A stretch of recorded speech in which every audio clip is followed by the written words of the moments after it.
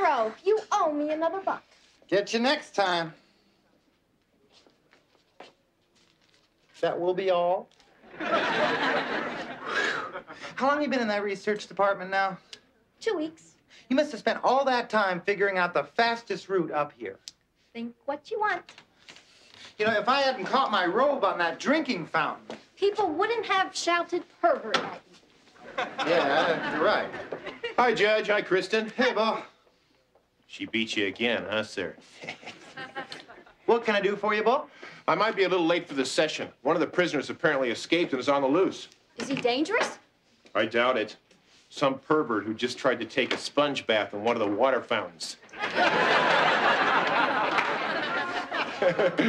they say he was wearing a dress, too.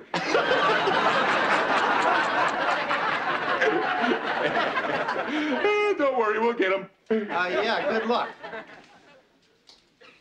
Well, first offense. Time off for good behavior. Shouldn't be too bad. Hey, Harry, did you hear? Yeah, I heard some sicko in a dress just tried to rinse himself off in a drinking fountain. Why don't we all notify the media, huh?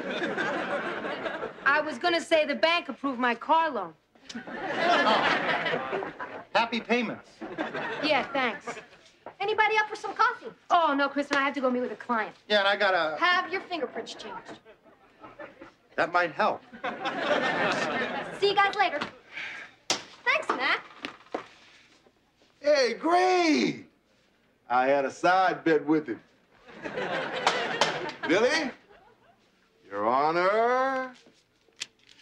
I saw that water fountain incident.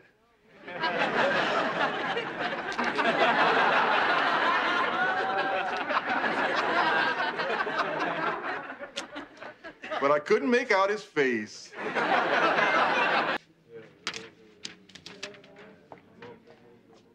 All rise. Criminal Court Part 2 is now in session. The Honorable Harold T. Stone presiding. You may be ah seated. He did the most disgusting thing!